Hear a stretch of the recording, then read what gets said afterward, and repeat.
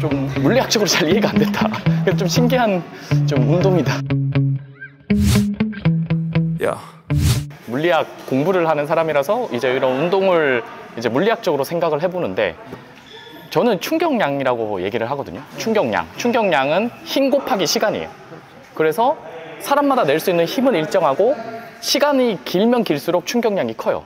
그래서 때리는 시간을 길게 하기 위해서 야구나 뭐 골프 같은 것들이 이 스윙이 길고 크잖아요. 팔로우 스윙을 하는 이유도 이 때리는 시간을 길게 해서 충격량을 멀리 보내는 거라서 민턴도 다 똑같다고 생각을 해요. 얘도 이제 스윙하는 게 뒤로 돌아와서 이 반경을 크게 그리면서 때려야 센 이유가 이 스윙 시간이 길어지는 거잖아요. 그런 물리학적으로는 다 이해가 되는데 유일하게 다른 거는 민턴은 이제 치는 공이 둥글지 않고 이제 다르게 생겼잖아요. 이 셔틀콕이라는 것 자체가 이거를 어디를 어떻게 치냐. 그리고 움직이는 공을 치는 거기 때문에 조금 다르다고 생각을 했고 제가 이해가 안 됐던 거는 그런 물리적인 건 다 이해가 됐는데 코치님 보면은 슬라이스를 내면서 어떨 땐 앞으로 가고 어떨 땐 아래로 떨어지고 어떨 때는 슬라이스를 내면서도 위로 가더라고요. 그러니까 그런 게 좀 물리학적으로 잘 이해가 안 됐다. 그래서 좀 신기한 좀 운동이다. 금방 그부터 먼저 설명을 하면 예를 들어서 어떨 때는 슬라이스로 쳤는데 어떨 때는 위로 가고 어떨 때 아래로 가고 이런 것은요 임팩트 각이 볼을 이렇게 돌아오는 걸 치다든지 아니면 이렇게 스피를 줘서 오는 게 있어요. 앞에서 해핑 같은 경우에. 그러면 어떨 때는 이렇게 맞고 어떨 때는 이렇게 맞고 그죠? 그러니까 같은 스윙을 해도 얘가 돌아가는 때 어떻게 맞느냐에 따라서 샷들이 다르게 떨어진 거겠죠? 그러니까 그건 그렇게 설명하면 되고. 그리고 이제 배드민턴은 또 F는 MA로 충격량을 비교해서 이게 왜 제대로 안 가냐. 뭐 테니스 공이나 골프공 같은 경우는 이 둥글면서 안에 나름대로 공기역학이나 아니면 그 안에 물질에 의해서 작용을 한단 말이에요 이게 찌그러졌다가 펴지기도 하고 근데 배드민턴은 그런 게 아니라 이게 코르크에 깃털이 달려 있는 거란 말이에요 그런데 사실은 배드민턴도 임팩트 순간을 이 정밀 카메라로 찍어보면 임팩트 때 이런 현상이 많이 나와요.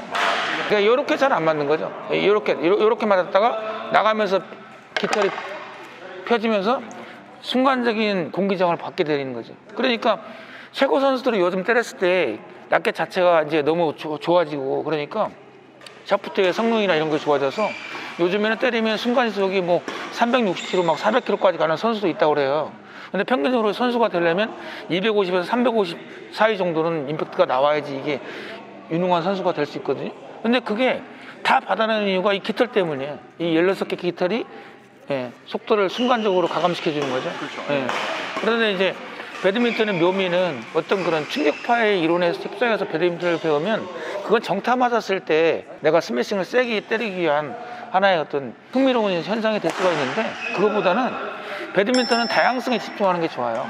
예, 배드민턴은 이 셔틀이 5.5g이거든요. 그 이게 전부 다 했을 때 이게 110g 내외란 말이에요.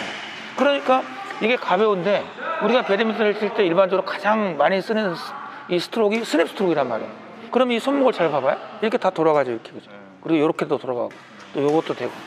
가볍죠? 그리고 가벼워. 배, 배드민턴이 뭐 300km 날라와도 내가 손목으로 얼마든지 커버할 수가 있는 거죠. 아무리 와도 충격파가 여기 오- 안 와요.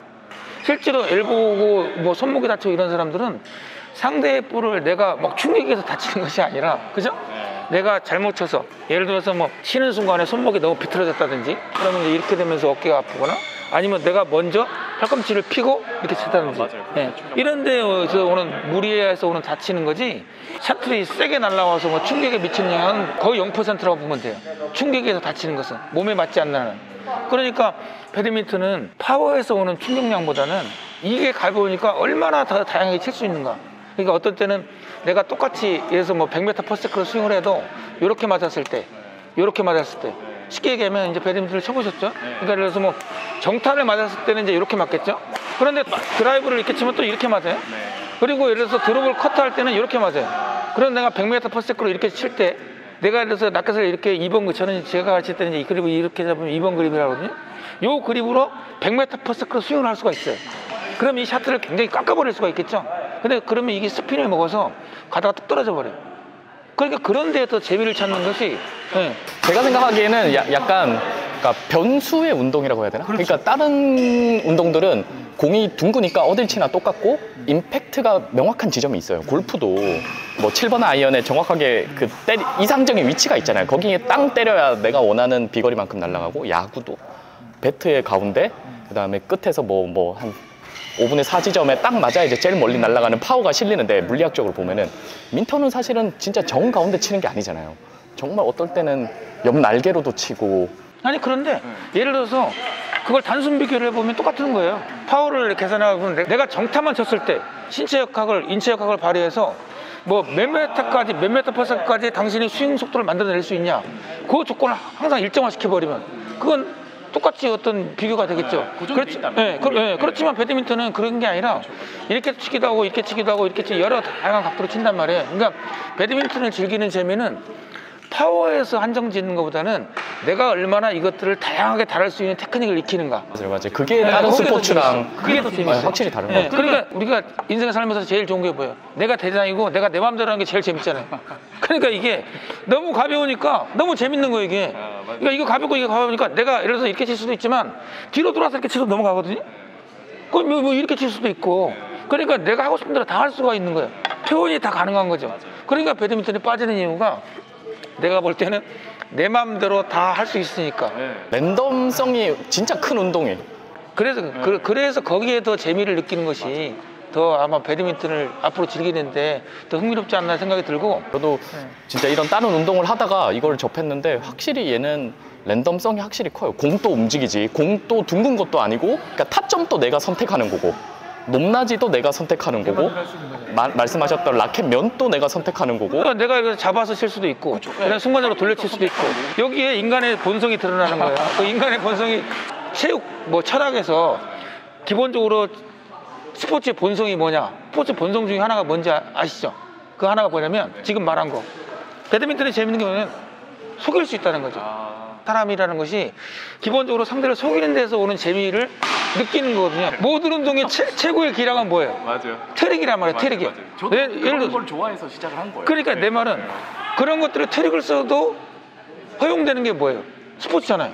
스포츠는 트릭을 썼을 때 페이크나 이런 것을 했을 때 허용이 되는 것이 야 저 사람은 대단한 속임수야라고 얘기 안 한단 말이야. 야 저 사람 기술이 정말 예술적이다. 정말 환상적이다 얘기 한단 말이야.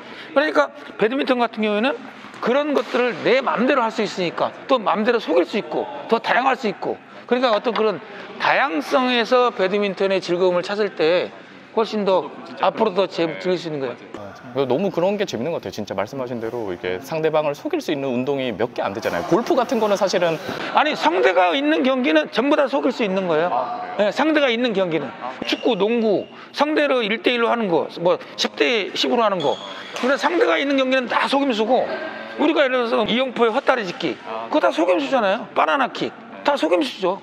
상대 내가 너 이렇게 차면 이렇게 갈 줄 알았지 돌아간다 결국은 다 속임수예요 속임수가 아닌 것들은 기록 경기죠 또 양, 양궁이나 뭐 이런 거 그 운동이라는 것을 나눌 때 두 가지로 나눠요 이게 이제 폐쇄성 운동이냐 개방성 운동이냐 그런데 개방성 운동 같은 것은 일반적으로 트랙이 많이 들어가고 폐쇄성 운동 양궁 무슨 뭐 사격 이런 것들은 목표 지점을 정해놓고 오로지 나와의 싸움이잖아요 그죠 개방성 운동이네요. 민턴이 딱 진짜. 당연히 개방성 운동이죠 맞아. 그러니까 그 개방성 운동 중에서도 볼조차도 둥글지 않으니까 제 말은 더 개방된 것 같아요. 예, 다른 운동보다도.